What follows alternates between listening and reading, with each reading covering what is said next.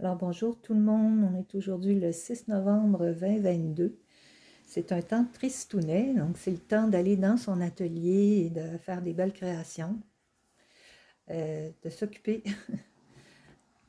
Alors je voulais vous parler des cahiers de croquis. J'avais reçu en cadeau de, ma soeur ce beau cahier de croquis-là que j'ai adoré.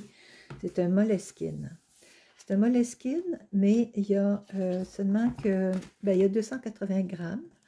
Donc, c'est quand même correct pour l'aquarelle.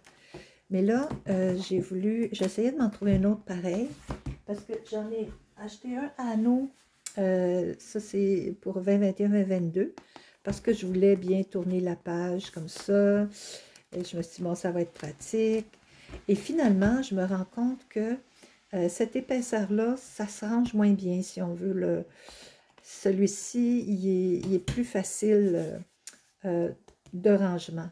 Il se transporte mieux. Et finalement, ben, je trouve ça pas mal plus cute. Fait que là, j'ai trouvé, j'ai trouvé, j'ai trouvé ce joli cahier qui euh, à croquis, qui ressemble à celui-ci, mais c'est du 300 grammes le papier. Et hier, j'étais toute contente, j'ai dit, je vais aller, je vais essayer, mais bon, je trouve que mon croquis, il est, raté, là, mais c'est pas grave, hein? un croquis, c'est vite, vite, vite, donc c'est spontané.